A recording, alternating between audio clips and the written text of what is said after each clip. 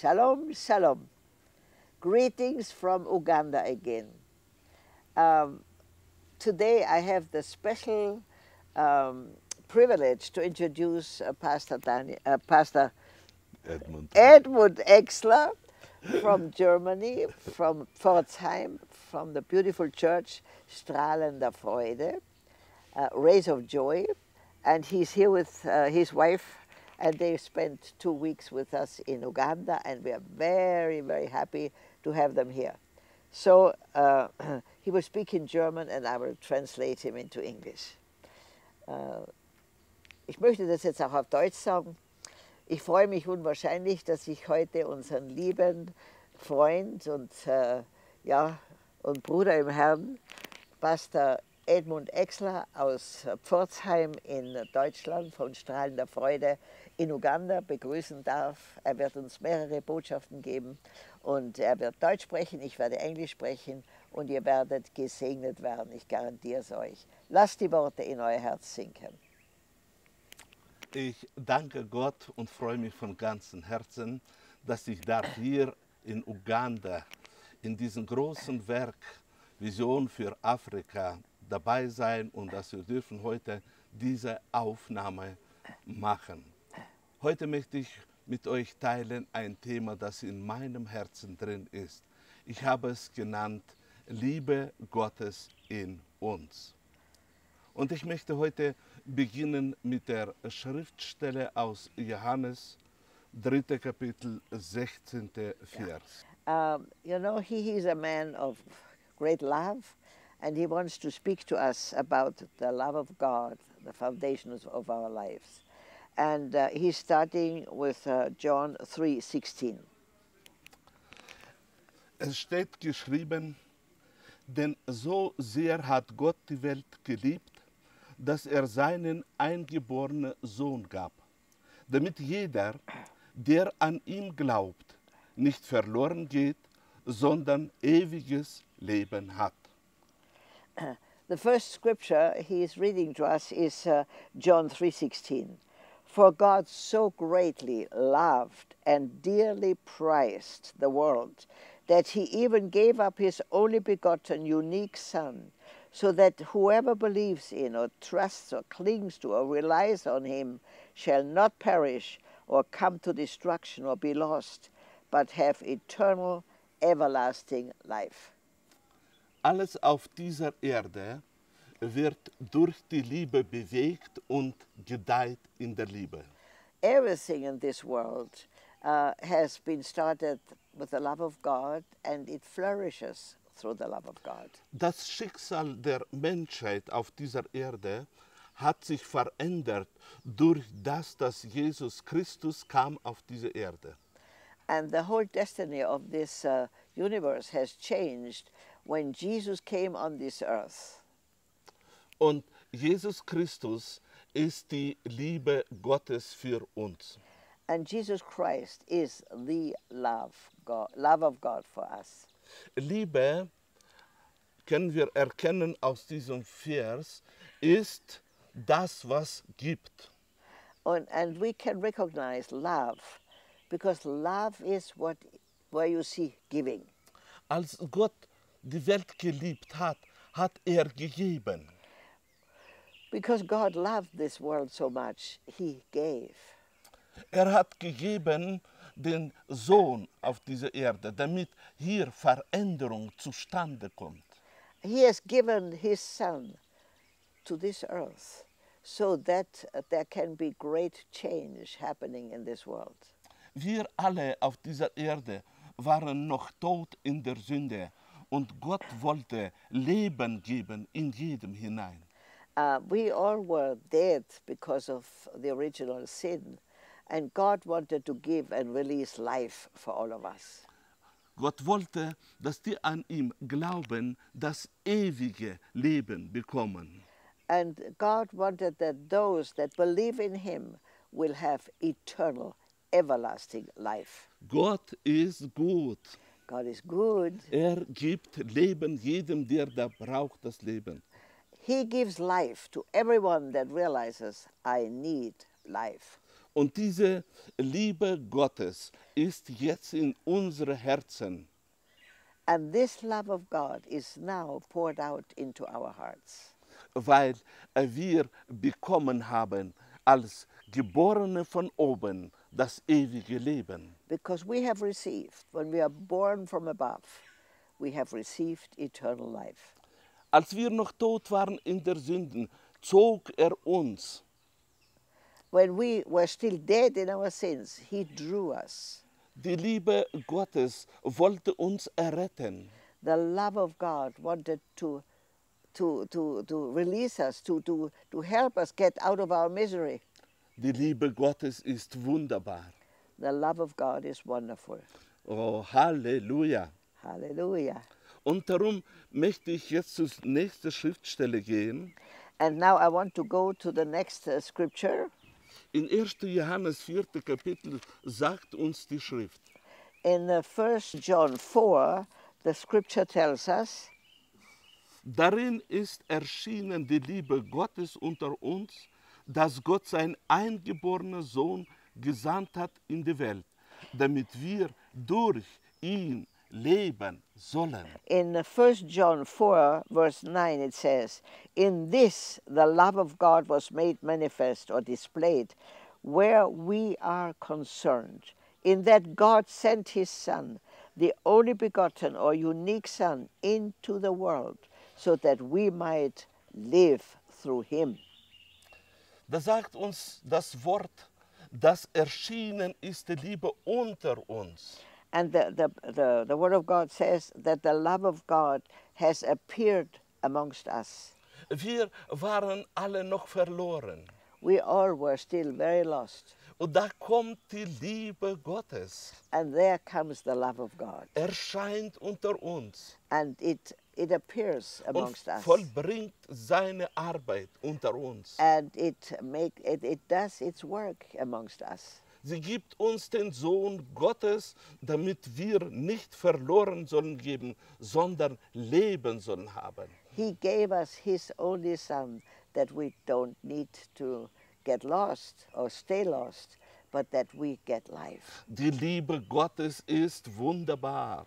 The love of God is wonderful. Ich freue mich so, dass die Liebe Gottes wirkt auch heute noch.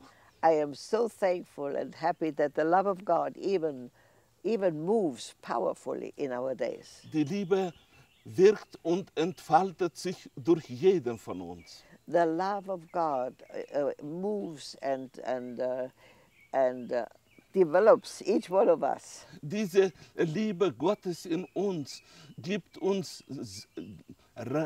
Segen in Überfluss. And this love of God within us gives us blessings in abundance. Halleluja. Hallelujah. Ich freue mich. I am very happy. Die Liebe Gottes ist alles, was wir brauchen auf dieser Erde. The love of God is all we need on this earth. In 1. Johannes 3. Kapitel, 1. Vers lesen wir. In 1 John 3 1, we read, Seht, welch eine Liebe hat uns der Vater erwiesen, dass wir Kinder Gottes heißen sollen. Darum erkennt uns die Welt nicht, weil sie ihn nicht erkannt hat. See what an incredible quality of love the Father has given or shown or bestowed on us, that we should be permitted to be named and called and counted the children of God. And so we are. The reason that the world does not know, recognize, acknowledge us is that it does not know or recognize or acknowledge Him, God. Die Liebe Gottes gibt immer. The love of God is constantly giving.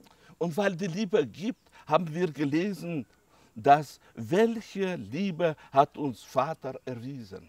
and uh, because of the that the love of the the love of the love always gives and so we say what love the father has given us Und weil er gibt, hat er uns gegeben die Stellung, dass wir Kinder Gottes dürfen uns nennen. and because he has given everything He has allowed us now to call ourselves the children of God. Wir dürfen diese Vollmacht als Kinder Gottes auf dieser Erde haben und ausleben. We, we can flow in this fullness of God's love and know and believe that we are His children. Diese äh, Liebe Gottes hat uns eine Stellung gegeben, wo wir Macht bekommen haben für die Schöpfung auf dieser Erde. And this love of God has given us the authority over the creation of this earth. Gelobet sei der Name des Herrn. Blessed be the name of the Lord. Ich freue mich, ich bin begeistert, I am so thankful. I'm so happy. I am full with joy dass wir dürfen durch die Liebe unseres Vaters wandeln auf dieser Erde als Kinder Gottes. that we are allowed to walk on this earth as His children, the children of God Himself. Halleluja! Hallelujah. Wir wollen ausleben diese uns geschenkte Macht Gottes. We want to live fully into this authority and anointing and power of the love of God. Wir wollen ausleben dieses Licht, das wir bekommen haben als Kinder Gottes. We want to really live that light that God has given us as His children. Ich bin begeistert und voller Freude, dass wir dürfen auf dieser Erde leben und viel Frucht hervorbringen. I am so thankful that we, as children of God, are allowed to live on this beautiful earth and bring forth much fruit. Halleluja! Hallelujah. Halleluja! Hallelujah. In Römer im fünften Kapitel, fünfte Vers lesen wir. In Romans 5 5, we read, Hoffnung aber lässt nicht zuschanden werden, denn die Liebe Gottes ist ausgegossen in unsere Herzen durch den Heiligen Geist, der uns gegeben ist. Such hope never disappoints or deludes or, or shames us, for God's love has been poured out in our hearts through the Holy Spirit who has been given to us. Die Liebe Gottes hat uns dazu geführt, dass wir dürften den Heiligen Geist empfangen. The love of God has made us worthy to receive the Holy Spirit. Wir haben das Beste und das Schönste empfangen, den Heiligen Geist. We have received the best and the most beautiful part of God, the Holy Spirit. Unser Vater im Himmel gibt uns das Beste auf dieser Erde. Our Father in heaven gives us the best here on earth. Er gibt den Heiligen Geist, der uns leitet. He gives us the Holy Spirit who leads and directs us. Und dieser Heilige Geist vollbringt bestimmte Arbeit in uns And und this- durch uns. And this Holy Spirit, He brings about, or He, he produces some work in us and through us. Diese Liebe Gottes, die auf uns wirkte, hat der Heilige Geist in unsere Herzen ausgegossen. Uh, and that Holy Spirit that produces all the goodness of God, God has poured out into our hearts. Halleluja. Halleluja. Halleluja. Die Liebe Gottes in uns. The love of God within us. Die Liebe Gottes ist in uns nicht darum, dass sie soll ruhen, sondern sie ist am Wirken. And the love of God is not poured out in our hearts so that we hold on to it, but it's the love of God needs to work through us. Und ich freue mich, dass diese Liebe so viel ausgegossen ist, dass der Heilige Geist kann uns verändern. And the Holy Spirit has been poured out in such a way that, uh, that He can transform us. Es ist wunderbar zu sehen, wie diese Liebe Gottes sich entfaltet in uns und durch uns. And it's wonderful to see how this love of God starts growing in us and through us. Ich bin so glücklich in Christus. I am so thankful in Christ. Ich bin so glücklich, dass wir haben den Vater im Himmel. I am so thankful that we all have the Father in heaven. Ich bin so glücklich, dass der Heilige Geist in uns ist und wirkt. I'm so thankful that the Holy Spirit is in us and moves through us. Und diese Liebe Christi wirkt. And the love of Christ is in motion. Wir wollen lesen aus dem Buch Epheser, dritte Kapitel, 19. Vers. And we want to read uh, in Ephesians chapter 3, verse 19. Auch die Liebe Christi erkennen könnt, die alle Erkenntnis übertrifft, damit ihr erfüllt werdet, bis ihr die ganze Fülle Gottes erlangt habt. that you may really come to know, practically know, through experience for yourselves, the love of Christ, which far surpasses mere knowledge, mere experience, that you may be filled through all your being unto all the fullness of God, that is, may uh, uh, that is may have the richest measure of the divine presence, and become a body wholly filled and flooded with God Himself. Ein starkes Wort Gottes. This is a very strong word of God. Hier offenbart uns das Neue Testament die Fülle der Liebe Gottes. Here, the New Testament reveals to us the fullness of the love of God. Und hier zeigt uns das Wort, dass wir haben die Möglichkeit erkennen die Liebe Christi. And the word tells us that we have the possibility, we have the, the we have we have received from God the awareness to recognize the fullness of the love of God. Und dieses Wort offenbart uns, dass es gibt viele Erkenntnisse auf dieser Erde. And this word tells us that there are many, many um, um, revelations that God wants to give us here on earth. Aber die, was die Liebe Gottes beinhaltet, übertrifft alle Erkenntnisse auf dieser Erde. But what the, what, uh, the love of God contains surpasses all knowledge on this earth. alle die Erkenntnisse, wo auf dieser Erde sind, All the revelations that you can have on this earth haben ihre Kraft und Auswirkung. have its uh, power and, and, and uh, effect, Aber das Höchste hat die Liebe Christi. but the highest effect has the love of Christ. Und durch diese Liebe Christi haben wir die Möglichkeit, erfüllt zu werden.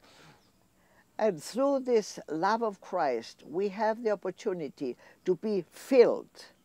Diese Liebe Christi führt uns zu einer Erkenntnis, wo die Fülle Gottes durch uns sich offenbart. And this love of Christ uh, helps us to know uh, and, to, uh, and to be capable of the love of God to be poured out through us. Wir haben bekommen eine offene Tür für die Liebe Christi, die uns in Erkenntnis führt in die Fülle. And we have received an open door through Jesus Christ to recognize the fullness of the love of God. Meine Brüder und Schwestern, die Liebe ist die Sicherheit in unserem Leben. Dear ones, the love, dear brothers and sisters, the love of God is the security in our life. Die äh, Liebe Christi ist unser geistliches Wachstum. The love of God is our spiritual growth. Halleluja. Hallelujah. Sie ist unser Sicherheitsgeber. Uh, the love of God is what gives us security. Sie ist die Sicherheit für die Fülle Gottes in uns. Yes, the love of God is the security of the fullness of God in us. Mich begeistert diese Möglichkeit, dass Gott uns öffnet, dass wir können in der Fülle Gottes leben. And I'm so thankful to know that this love of God gives us the opportunity to live in fullness of life. Damit die Fülle Gottes in uns lebt, müssen wir auch Fähigkeiten bekommen. So that the fullness of God can live in us. Und We also need to receive uh, um, opportunities. Und diese Fähigkeit, die Liebe Gottes und die Fülle Gottes in uns zu haben, haben wir bekommen von unserem Herrn Jesus Christus. And we have received the capacity to contain the love of God in us through Jesus Christ. Und darum möchte ich voller Freude sagen, lebe in dieser Fülle Gottes. and that's why I want to say with great conviction live in the fullness of God. Strebe in diese Fülle Gottes hineinzuwachsen. and and uh, have an ambition to grow into the fullness of God. Verliebe dich durch diese Liebe, die in dein Herzen ist, in diese Fülle Gottes. Fall in love because of the love of God that is in you. Fall in love with the fullness of the love of God. Denn durch die Fülle Gottes haben wir alle Antworten, wo wir brauchen auf dieser Erde. Because of the love of God, we have all the answers that we need on this earth. Unser innerer Mensch wird durch die Fülle äh, Gottes reif. Our inner man will mature through the fullness of God. Wir sind die glücklichsten Menschen auf dieser Erde. We are the happiest people on this earth. Oh, ich möchte, dass die gesamte Christenheit in diese Fülle Gottes vorangeht und Frucht hervorbringt. It's my dream that all of the Christians break through into this fullness of the love of God and bring forth the, the, the works of the love of God. Die Liebe äh, Christi macht uns reich.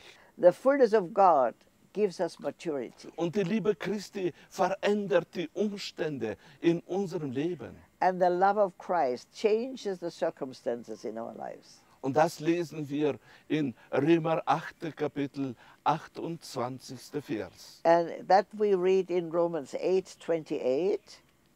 Wir wissen aber, dass denen, die Gott lieben, alle Dinge zum Besten dienen, denen, die nach dem Vorsatz berufen sind. We are assured and know that God, being a partner in their labor, all things work together and are fitting into a plan for good to those who love God and are called according to his design and purpose. Apostel Paulus, The Apostle Paul, der durch die Weisheit Gottes in die himmlische Regionen hineinschauen konnte, uh, who through the grace of God was allowed to look into the heavenly places, hat gesehen, dass jedes Kind Gottes bekommt ein bestimmtes Wissen von Himmel. and he, he, got, uh, he uh, got the awareness that every child of God receives a certain revelation of heaven. Und er sagt, wir wissen, He says, We know da in uns drin ist ein bestimmtes Wissen. there is a certain knowing in us. Und dieses äh, Wissen vermittelt uns, dass es gibt eine Veränderung für alle Umstände in unserem Leben. And that inner knowing gives us an assurance that there can be a change in all circumstances in our lives. Da wo die Umstände, die Schwierigkeiten, die Probleme wollen uns zunichte machen, Where our circumstances, our problems, uh, our obstacles want to uh, block us, sagt Apostel Paul, haben wir in uns ein Wissen, the Apostle Paul says that we have a knowing within us dass alle Dinge uns zum Besten dienen. that all things for those that trust him will work together for good. Halleluja. Hallelujah. Die Schwierigkeiten sind unsere Diener. The problems are our servants. Wir haben Veränderungen des Schicksals durch die Liebe Gottes. We have a change of our destiny through the love of God. Da, wo der Feind möchte, dass wir Niederlage erleben, hat Gott seinen Plan, wo er sagt, die Dinge dienen dir. Where, where we think this is now a disaster, God says these things will even serve you. The problems will serve you. Halleluja. Hallelujah. Das macht alles die Liebe Gottes in uns. That's what the love of God does in us. It changes circumstances. Das macht die Liebe Gottes um uns herum. That does the love of God around us. Sie zwingt die Dinge, dass sie sollen uns zum Besten dienen. It's the love of God that forces the circumstances around us to serve us. Halleluja. Halleluja. Halleluja. Halleluja. Und darum wollen wir triumphieren. Wir wollen uns freuen und Gott danken. That's why we want to be triumphant and we want to thank God. Die Liebe Gottes ist so kostbar. The love of God is so precious. Und darum ist es so wichtig, dass wir in dieser Liebe wandeln. And that's why it's so important that we walk in that love. In Judas, dem 21. Vers, lesen wir. In uh, Jude, in verse 21, we read, Und da steht geschrieben, bewahrt euch selbst in der Liebe Gottes und hofft auf die Barmherzigkeit unseres Herrn Jesus Christus zum ewigen Leben. and there it says, Jude, verse uh, 21, guard and keep yourselves in the love of God. Expect and patiently wait for the mercy of our Lord Jesus Christ, the Messiah, which will bring you into eternal life. Weil die Liebe Gottes so kostbar ist. Because the love of God is so precious, Weil die Liebe Gottes so mächtig ist. because the love of God is so powerful, Sagt uns das Neue Testament, bewahrt euch selbst in der Liebe Gottes. as the New Testament tells us, guard and keep yourself in the love of God. Es ist uns gegeben die Macht und Kraft, dass wir können uns selbst bewahren in der Liebe Gottes. God has given us the anointing that we can keep and guard ourselves in the love of God. Oh, ich möchte zurufen, erlaube nicht den Umständen, dich rauszureißen aus der Liebe Gottes. I want to call to you don't allow the circumstances to pull you out of the presence of the love of God. Bewahre es in deinem Verstand, in deinem Denken. And uh, keep it safe in your thinking Bewahre es in deinem Herzen. and keep it safe in your heart. Denke so, rede so, denn das ist eine Rede des Glaubens. Think like this and speak like this because these are words of faith. Ich spreche sehr oft zu mir selbst, wo ich ausspreche, ich bewahre mich in der Liebe Gottes. And I speak very often to myself. I guard and keep myself in the love of God. Denn die Liebe Gottes ist meine Sicherheit auf dieser Erde. because the love of God is my security on this earth. Denn durch die Liebe Gottes werden wir erkannt von den Leuten auf dieser Erde. Because through the love of God, we will be recognized by the people that are surrounding us on this earth. In 1. Johannes, 5. Kapitel, 2. Vers lesen wir. Daran erkennen wir, dass wir die Kinder Gottes lieben, wenn wir Gott lieben und seine Gebote halten. In uh, 1 John 5, verse 2, it says, By this we come to know or recognize and understand that we love the children of God when we love God and obey His commands, His orders, His charges, when we keep His ordinances and are mindful of His precepts and His teaching. Da sagt uns das Wort, dass wir haben eine Fähigkeit, die Kinder Gottes zu lieben. And it says, uh, tells us in this verse that we have the capacity. We love the children of God. Wir wissen, dass die Kinder Gottes, jeder hat seinen Charakter, sein geistliches Wachstum und verschiedene Denkarten. We know that the children of God are all in a different stage of development in character, and, and yet we love them. Aber wir haben die Fähigkeit, durch das alles, wo wir nicht schauen auf die Taten des anderen, sondern in Glauben können die Kinder Gottes lieben. Uh, and, and you know, we don't need to look at the behavior of other people, but we look through the eyes of God and we love the children of God. When we love God and obey His commands. Wir haben diese Fähigkeit, die Kinder Gottes lieben, so wie sie sind, durch das, dass wir lieben unseren Vater im Himmel. Uh, because we love God, we can love the children of God no matter in what stage of development or character they have at the moment. Halleluja. Halleluja. Halleluja. Wir haben diese Fähigkeit zu lieben. We have the capacity to love. Und weil das so ist, sagt uns das Wort Gottes, bleibt fest in der brüderlichen Liebe. And because that is that it's that way, the Word of God tells us, be firm in brotherly love. Bleibt fest in der Liebe. Remain firm in loving. Das ist die Macht, wo wir vom Vater bekommen, wo wir Entscheidungen können treffen. Festbleiben oder nicht festbleiben. We can make the choice to remain firm in God's love or not firm. This is ours. Wir wollen in der brüderlichen Liebe festbleiben. We want to remain firm in brotherly love. Und so wollen wir zu unserer letzten Schriftstelle kommen. And so we want to come to our last scripture. Wir lesen aus dem Buch Römer 8, Kapitel 37. Vers. We read from the book of Romans 8:37.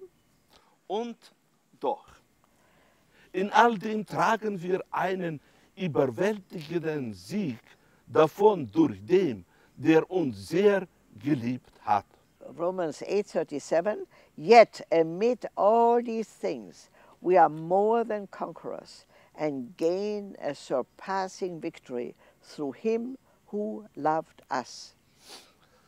Hier erkennen wir, dass Jesus Christus uns sehr liebt.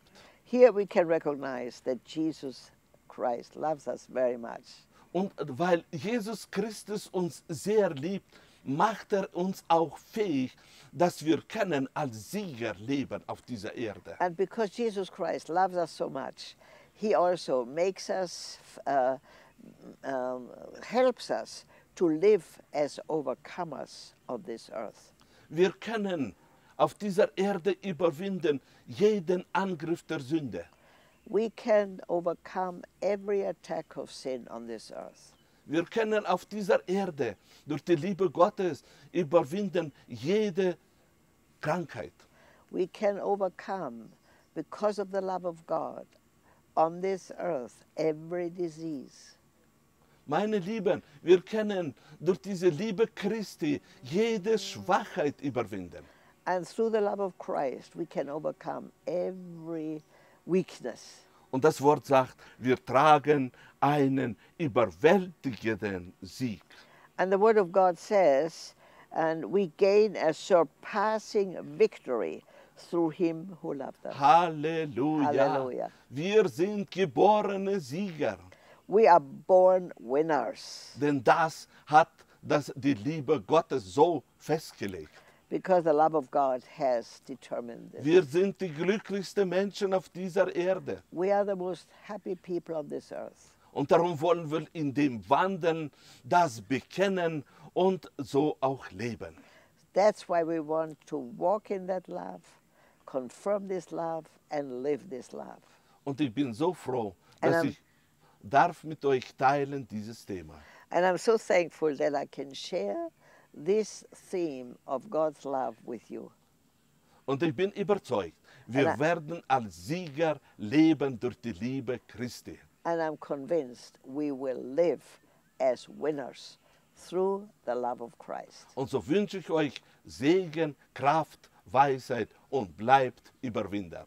And so I wish you blessings, uh, love, joy, and remain an overcomer Bis nächste Mal. until we meet again. Shalom, shalom.